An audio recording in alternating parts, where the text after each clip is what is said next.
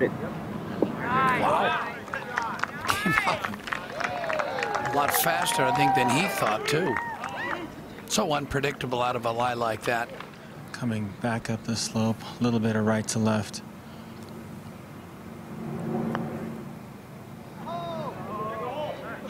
Ah, what a save by Tiger, and what an up and down that was.